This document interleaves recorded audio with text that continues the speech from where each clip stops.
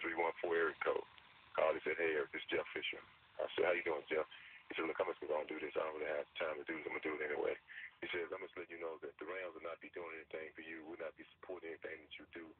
Um, and, you know, we feel uncomfortable. The players feel uncomfortable. You come on the sideline, talk about the players and the coaches, and make my players, my, my, coaches feel uncomfortable. I just, you know, you, you we, we, we don't want you on the sideline because, you know, we don't, make, just disrupt stuff.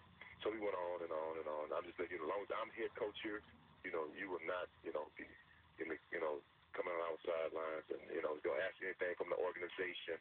And, you know, this organization not going to help you with anything. So I just, I just listened. I didn't say a word. He finished, I said, you finished, Jeff? He said something. I said, that's what Jeff, let me explain something to you. I said, thank you for the call. I appreciate it. I said, that I heard somebody might call. I said, thank you for having the guts to call me because I've heard the grumble going on.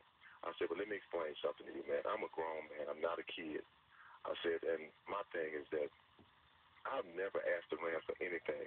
That's not me. Anyone knows me, know I'm not running on my hand out begging. I said, if you think that, you, you're mistakenly wrong. I said, I've been in L.A. for 30 years. I said, I don't need the Rams. I said, I'm not looking for nothing from the Rams.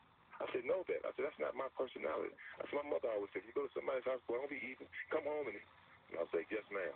So I then I also told him, I said that my thing is, Jeff, you could leave here, go back to Tennessee. You could go to FC. You could go to Cleveland.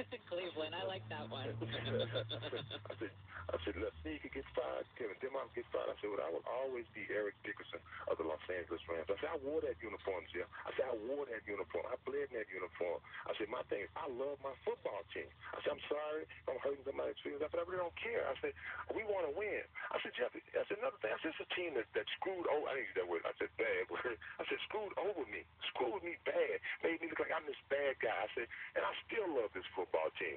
I said, I said, so you know, don't don't don't call me with, with like like like I'm trying to hurt to me, it felt like he was trying to silence.